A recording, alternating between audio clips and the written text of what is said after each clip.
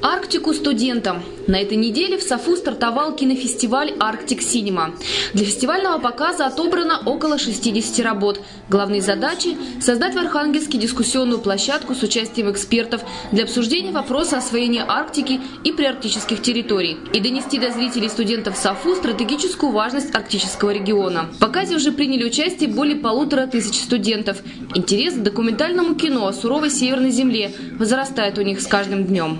Документальные фильмы – это очень хорошо, потому что документ – это наша жизнь. И это дает как бы истинное,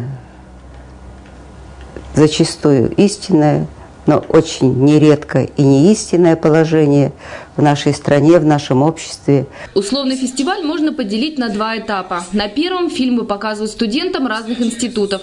Перед показом мини-лекция о значении и роли Арктики от известных журналистов и режиссеров северо-западного региона Елены Меньшиковой, Клавдии Хорошавиной и других. После просмотра – обсуждение.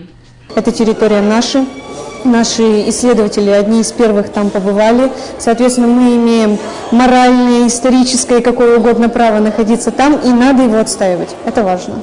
Уже на следующей неделе откроется дискуссионная площадка с участием экспертов и авторов работ. Это вторая часть фестиваля.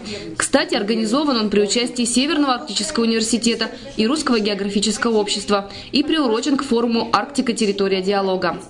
Марина Меньшикова, Ксения Гмырина, Ульяна Звонкова. Медиацентр САФУ «Арктический мост».